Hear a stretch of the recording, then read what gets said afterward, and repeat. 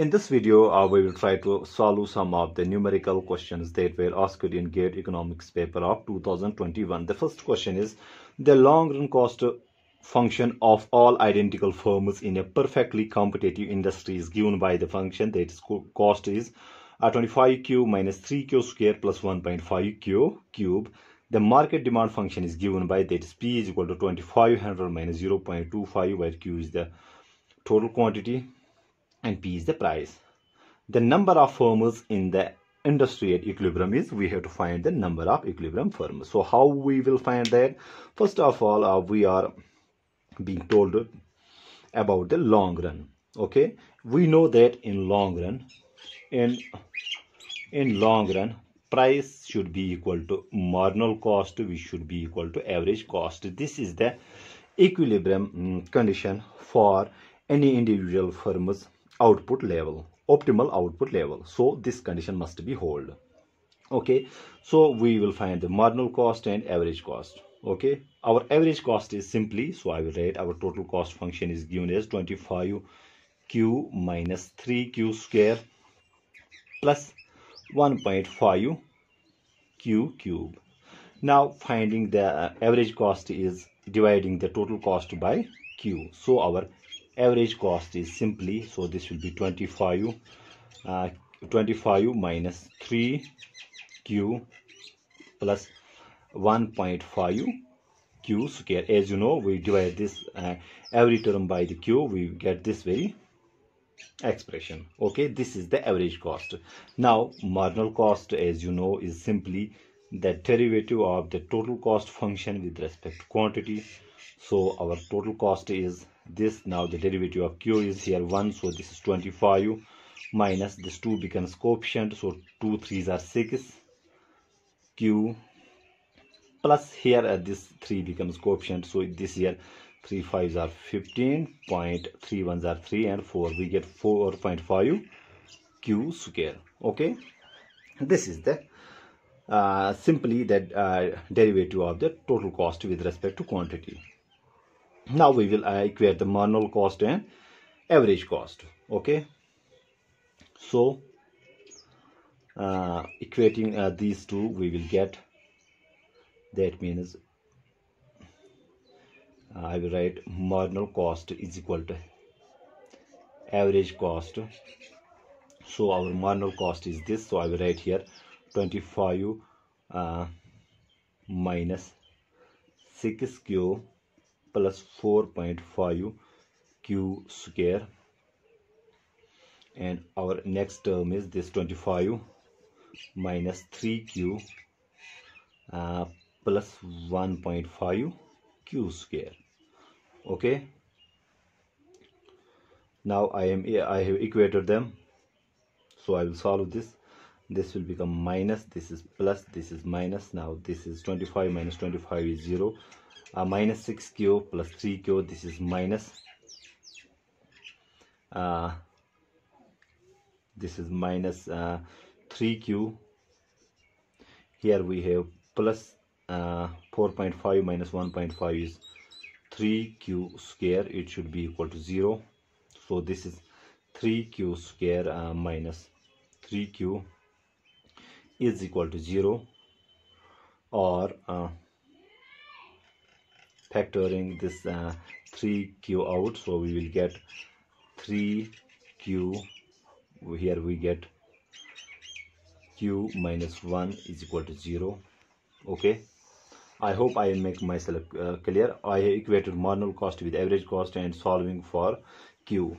That means our 3Q is either equal to 0 or q minus 1 is equal to 0 now 3q is equal to 0 minus q is equal to 0 here.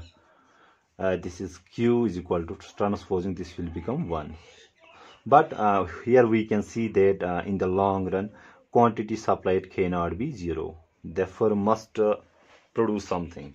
Okay? It can't have the zero uh, output level. So our q is equal to 1 so we got here quantity supplied by an individual firm in the long run is equal to 1 so this is the first part in solving this question. Next we will uh, calculate the market quantity.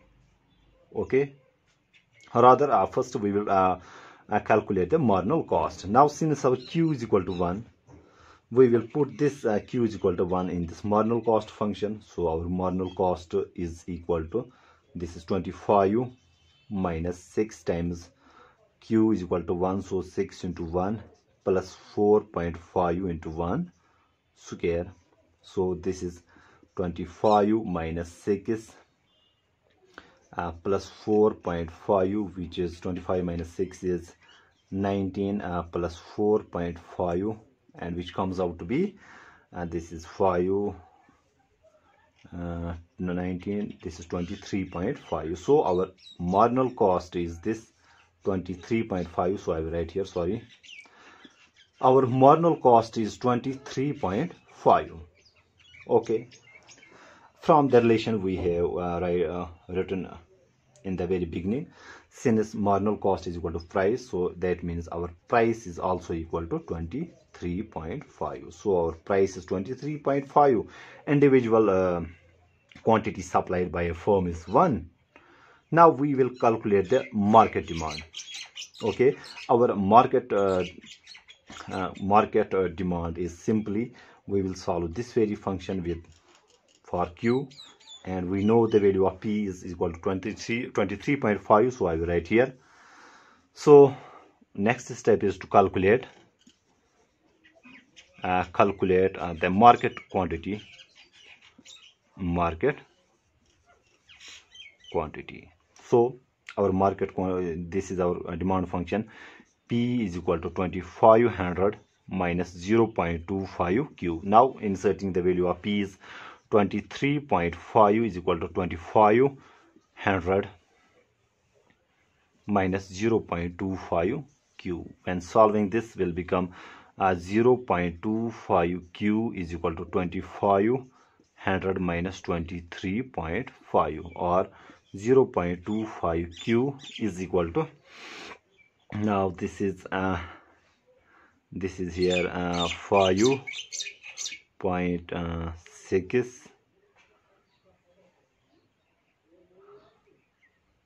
seven and this is four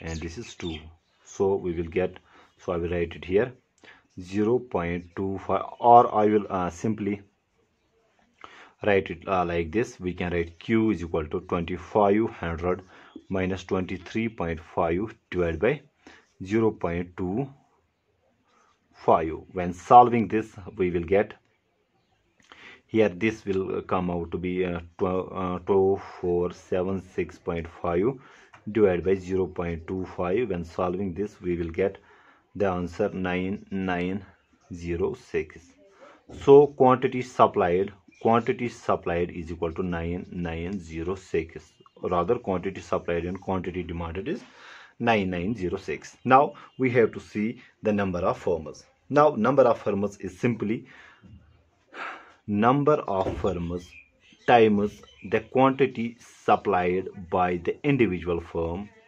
individual firm is equal to total quantity. So this is the relationship between the number of firms. So you can uh, easily infer number of firms times the quantity supplied by each uh, since they are the identical firms here. So this the uh, they will uh, they will rather uh, produce uh, the same level of output. Number of firms times quantity supplied by individual firm should be equal to the total quantity supplied. How our n times quantity supplied by one firm we have seen somewhere here so this is one should be equal to total quantity uh, supplied is 9906 here we can see n n is simply uh, 9906 divided by 1 which is equal to 9906 so we can see here uh, number of firms is equal to 9906 so the correct option i guess uh, if i had done the calculation correctly this would be 9906 9906 firms why? Because every individual firm is supplying one unit one unit number of firms are n. So n times the number of units supplied by each industry is equal to total supply. It is very obvious to comprehend this